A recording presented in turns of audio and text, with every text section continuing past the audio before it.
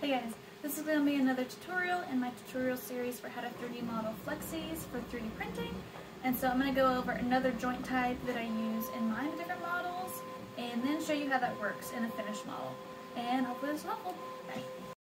So I'm going to start here with taking that original body length that we made and I'm going to elongate it and then fill in some so we have some bulk to work in. Because what we're going to do is we're going to add a cylinder and then we're going to stretch it out to the length and size that we want. Then we're going to duplicate that, make the next cylinder bigger, and then cut out that larger cylinder from the body, and then we have that free moving joint.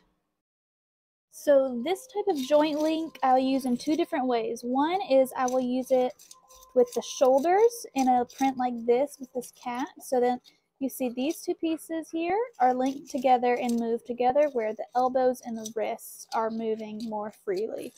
And I will also use it in smaller features like the tail of the sea dragon, where then the tail can flop back and forth like that freely. It's just a little bit smaller version of this. And so you can get a lot of different types of movements to help you with your flexies with this type of joint as well.